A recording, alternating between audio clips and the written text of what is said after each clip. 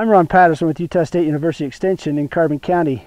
In this segment we're going to cover putting together from the hip purlin down, putting on the wiggle wire track and having this connected to each of our ribs here and then the uh, the uh, sidewall curtain support here to keep things from flowing around and then also how we fasten up. So I'll show how I put all this sidewall together. Helps a lot with the ventilation and it makes it very functional. For the hip purlin, I like to use plumber's strap to hold the, the T-post to the hip purlin. I also have the screw right here that uh, holds that up into place. That way, after I get the plastic on, I can release that screw and kind of pull down and, and keep a little bit more tension on the plastic. It doesn't flap quite as much. You can see here, I use these nail plates to hold the ends of the boards together. So when you're doing the hip purlin, it's a lot easier if you have a second person to help you hold that board up while you put in your plumber strap and, and the nail plates. You want to gap your your joints between your, your hip purlins in between the ribs makes it easier. Now I've shown how you can use the nail plates along here. You can also use a 1x4 if you have it long enough and it fits in between there. 1x4 will work pretty good. I have some, ran out of nail plates. I bought all of them out of the hardware store and uh, I have some 1x4 so I cut some 1x4 sections to splice those together. The end T-post I'll uh, fasten in this manner goes around to the end of your hip purlin around your T-post so that I've got it fastened up pretty good there uh, keep it in place. So each one of these ribs is attached to the hip purlin here I like to use plumber strap. You can use a pipe clamp if you want. The reason I use plumber strap is because I would like I like to be able to have it just a little bit loose so that as the slack in the plastic in the summertime as it warms up it expands and so there's a little bit flapping in the wind. I like to be able to pull this hip purlin down a little bit with my anchor lines and so I'll not tighten that up really tight I use inch and a quarter, anywhere from inch and a quarter, inch and five eighths screws on here. You don't want it to be a screw that's so long that it uh, that it goes all the way through the board. So uh, I've got some scrap plumber strap I was using on another project. Just trim that off. Or if you've got brand new, you want to make sure you tap down these sharp edges. I've cut myself a time or two on those, so kind of tap those down out of the way so that you don't get cut on the sharp edges of the plumber strap. So that's how you fasten the hip purlins to the ribs.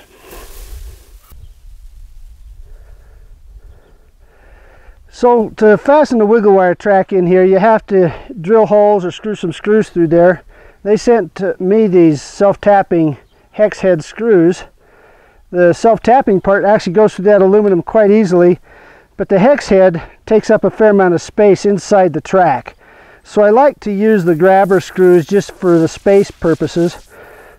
These uh, self-tapping screws actually do drill a hole quite quickly through the aluminum and so what I did was I used a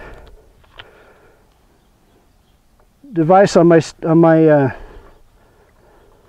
drill. Okay, we'll cut that part out. No, don't, don't touch it. So what I did here then to drill the holes is I just put the self-tapping screw into a nut driver, attached it to my drill, and drove it through, drilled a hole in the wiggle wire track. Doesn't take too long. Take your screw, self or the uh, grabber screws, and just screw them into the wiggle wire track. I've had, if I don't have these spaced close enough, I've actually had the winds bust the heads off these. So you need to have your spacing on these grabber screws uh, 12 to maybe 16 inches or so. You don't want to have, you know, like three or four of them in an eight foot wiggle wire track. You want to have them spaced a lot closer so that you've got a little more strength to them. The uh, self-tapping screws are a lot stronger. I've never had any of those break off, but I have had these these grabber screw heads pop off. So make sure you get them close enough that you don't have them break off in the wind.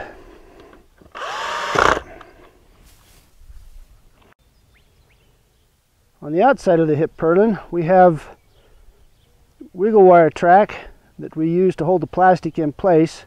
So from the top on this side over to the top, the hip purlin on the other side, we'll have this wiggle wire track and the plastic will be in place there until we take it off for winter.